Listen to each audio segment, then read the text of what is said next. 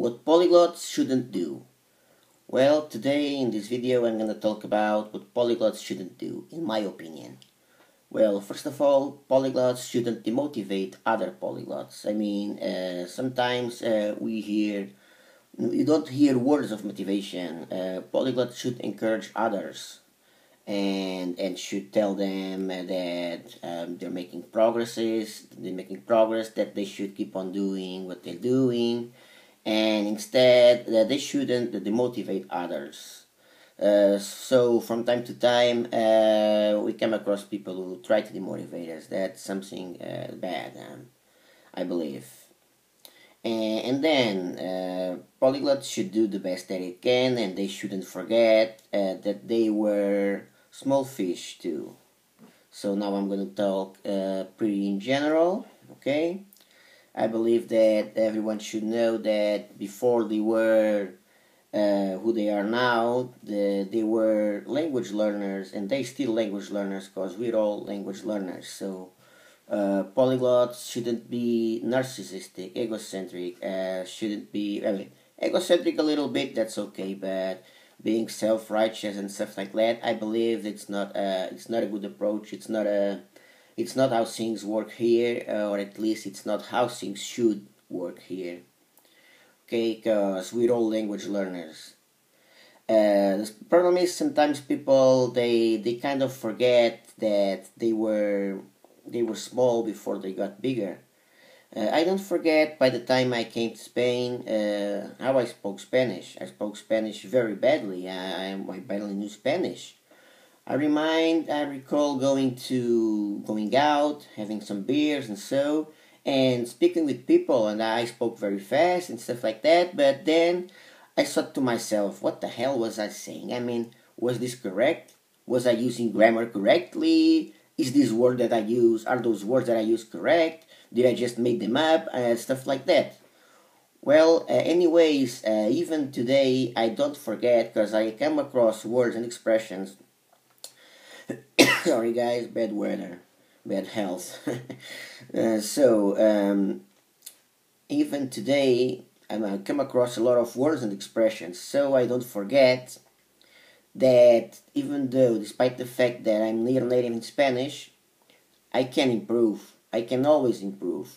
That's something that uh, some polyglots who have achieved a very high level in certain languages they think that they know it all. They think that they know it all that there's to be, and that's it. I'm the best one and stuff like that. Well, uh, to all those polyglots who think that there's the best, there's always someone better than you.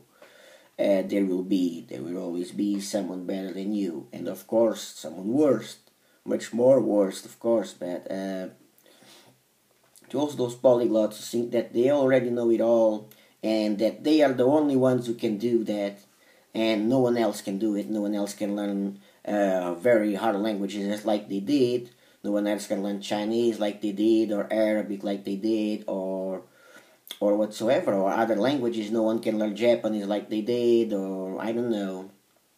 So those polyglots, they, they better take a look at. Um, they better take buy some slang books, some colloquial st- colloquial stuff books. Course, there are there are a lot available for Chinese and um, and Japanese. Uh, to name these two languages, because I want to learn those languages, and I want to learn those languages well. So take a look at those uh, colloquialism and stuff like that, and you'll see that there's still a lot to learn.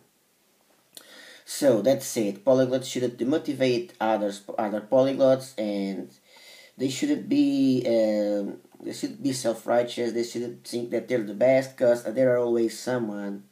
There will be always someone uh, defying them to be to become better polyglots.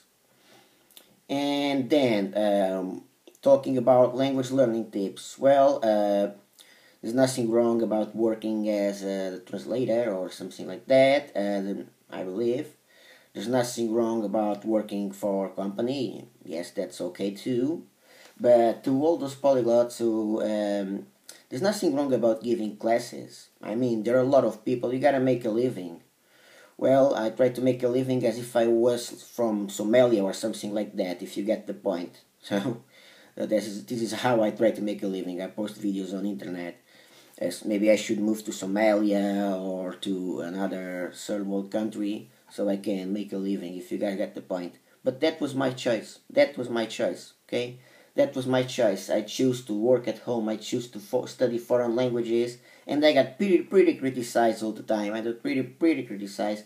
Not as much as before. I thought things would be bad, would be worst, but they still criticize me. So you don't do anything. You just study languages and now you make a living and stuff like that and blah blah blah blah blah blah because uh, I made my decision. My decision is to learn foreign languages and my decision is to post uh, these videos okay? Is to post these videos is to make uh, this channel available for everyone at least to, to all language learners and that was my decision. Uh, but I believe that language learning tips uh, should, be should be given for free. So uh, this is a way of not getting sued, and it cause seems like a man doesn't have the right to his own opinion anymore. Uh, what the hell are we? Uh, are we back in the times of uh, Hitler, back in the times of Salazar, back in the times of, um, let's say, of Franco, Mussolini, or are we in the 20th motherfucking first century? A man doesn't have the right to his opinion. So a man will talk, generally will talk about uh, whatever the, he wants to, but it, in a general way. Because as a matter of fact, I'm I'm speaking in a general way. Uh, I prefer not to give names because I don't make enough. Uh, I don't even uh, make an, uh, I don't even make money every month with YouTube, so I don't have money to pay a lawyer. Okay. So I believe a man has the right to his opinion. I believe a man has the right to his opinion.